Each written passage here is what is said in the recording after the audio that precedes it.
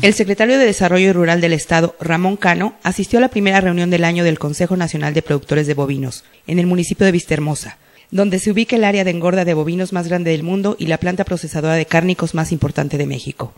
Asistieron también el anfitrión, Jesús Vizcarra Calderón, presidente y director general de Grupo Su Carne, funcionarios federales y estatales y representantes de empresas e instituciones del sector.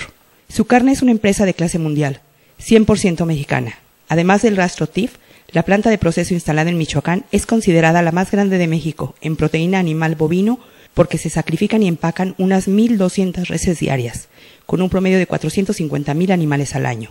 La planta de Vistahermosa tiene un promedio de producción de 100.000 toneladas de carne al año, de las cuales el 51% son para exportación.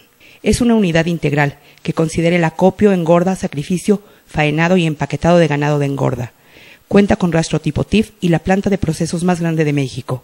Ahí se ubica el área de engorda de bovinos más grande del mundo, ya que en una superficie de 300 hectáreas se crían 147 mil cabezas de ganado.